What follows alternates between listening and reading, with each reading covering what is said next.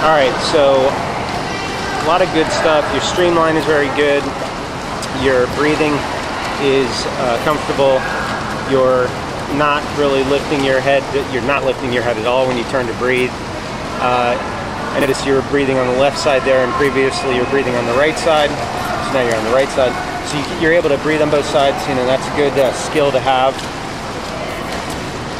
Uh, hips and legs are pretty high in the water. Forward extension is good. However, your left hand is crossing in a little more than it needs to when you're breathing to the right.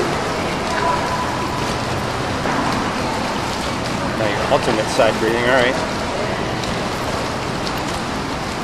All right, so just be aware of where your hands extend to on your breathing stroke. Uh, you're just going in a little bit more than you need to on the right as well.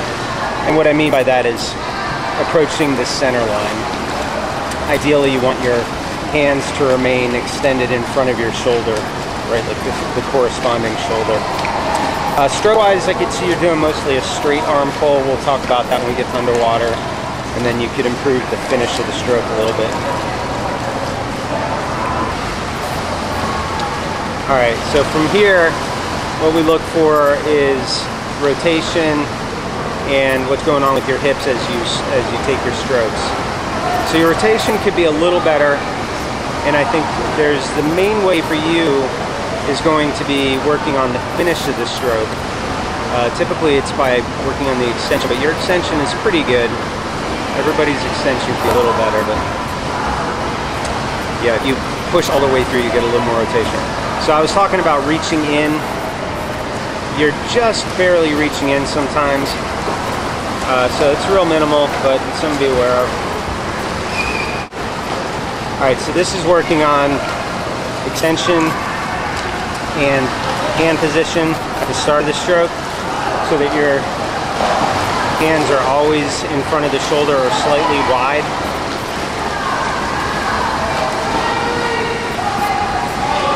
The reason for this is so that the initial bit of the stroke pull is with mostly back engagement if you reach to the center line, you get a little more bicep and pec engagement, which is not as efficient for swimming. All right, so this one focus solely on reaching as far as possible. And you're doing a good job of keeping those hands in front of the shoulders. Yeah, and you can visually watch. I could see that you're looking up a little bit, so that is that is helpful.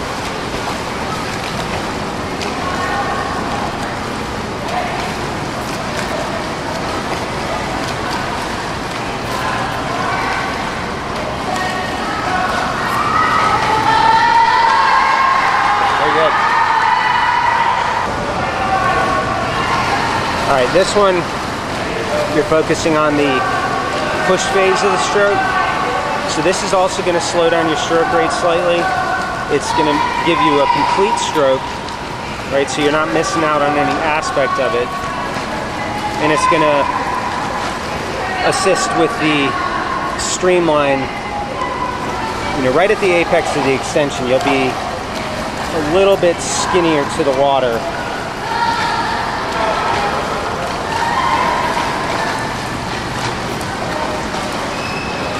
This is another one that'll cause you fatigue as you practice it because you're using muscles that haven't really been totally utilized. All right, so this is one arm drill working on the uh, high elbow, early vertical forearm.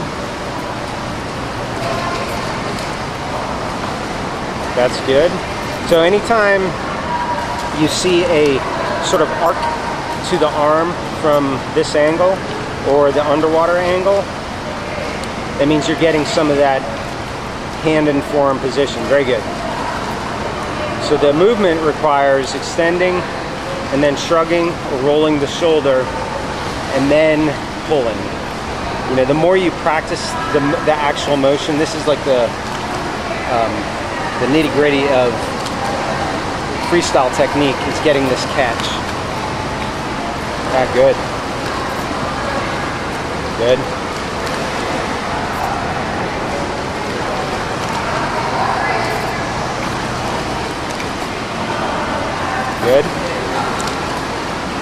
Good.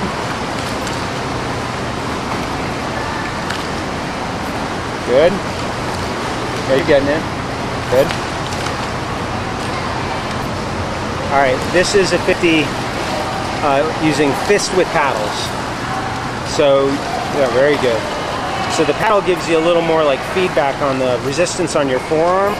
Very good. You can see that right arm really getting a nice hook on it. Yeah, and I can see you rotating your shoulder or shrugging your shoulder. Excellent.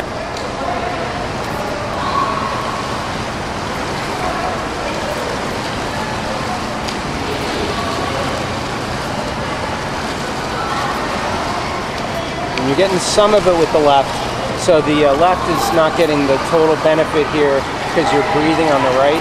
So I'm gonna have you do this one more time, breathing on your left side and see what happens to that left arm.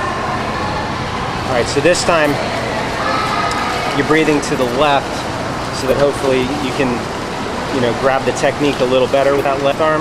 Your right here is still doing a good job. So I'm gonna assume you're like right hand dominant.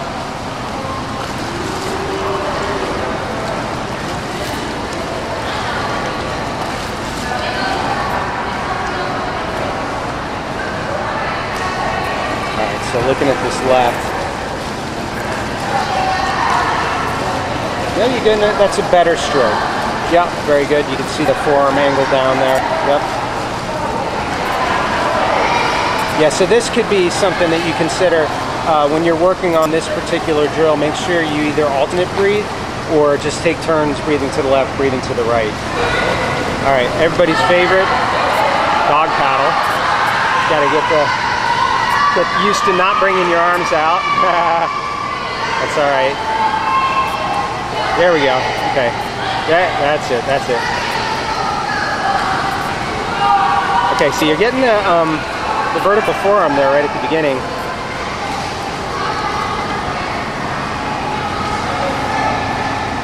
So you can see that extreme, on some of them, the more extreme arc to your arm.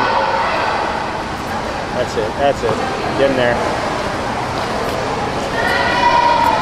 Yeah, this one's tough.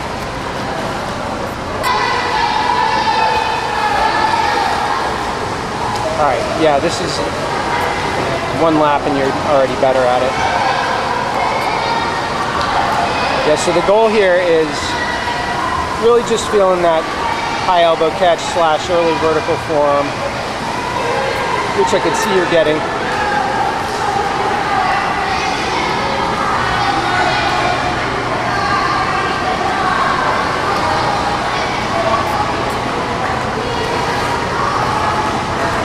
Very good.